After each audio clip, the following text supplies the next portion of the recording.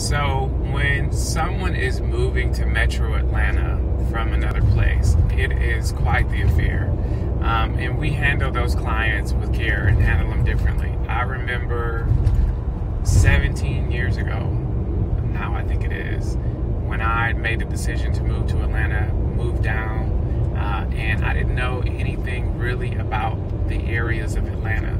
I was coming from a work assignment where I was actually in North Carolina. I'm originally from Michigan, but Atlanta is overwhelming. It's so big, it's got so many areas, it's got so much going on in each area. Each area has its own character, like most most major cities. And so figuring that all out can be an overwhelming process.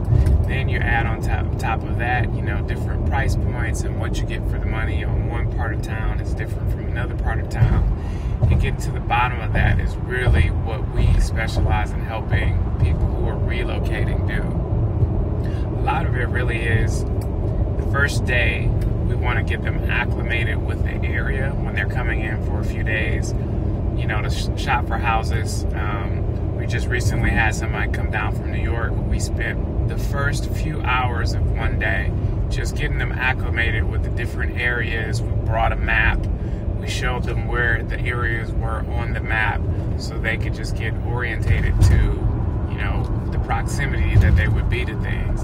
Obviously, you can take out your phone, Google Map something, uh, and figure out, you know, how far it is from work. But you still don't have your bearings. And so sometimes a map can be really helpful um, to do that. So we spend a few hours doing that, and then we start breaking down while we're on that drive what the price points are in different areas. We have them take out their phone and say, hey, pull up the local schools, look at the ratings. Um, to give them an idea if schools are important to them. If they are somebody whose school is unimportant and maybe proximity or vicinity uh, to certain things, certain um, features or amenities are important to them, we make sure we take them directly to where those amenities are. We make sure they map. We let them see what the roads look like, what the traffic looks like. We also we also want them to know in Atlanta, you know, how much traffic is on the road at any given time that you may have to go through. So those are important features. Um, and then of course we orientate them to the way real estate is done in uh, Metro Atlanta. Uh, each state is different. Certainly each metropolitan area is different because there's not only the, the laws or the rules, but they're the unspoken rules, which would also be known as customs. Um, giving them the customs of an area so they understand. If I have a northerner and they're coming down to the south, things are done differently here. Me being from the north, that was one of the things that I paid close attention to.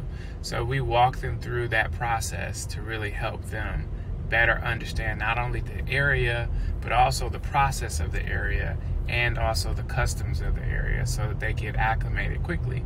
And then we serve as a resource for them after, you know, they make a move um, in case they need phone numbers to handyman, contractors, in case they need to know the best places to eat at restaurants, um, depending on their food style.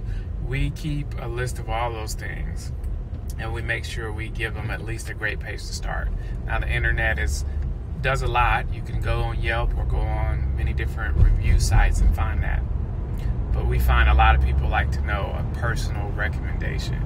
Um, those are just a few of the things that we do when we are working with people who are moving in from out of state to help get them, ease them into the situation of moving to a new place.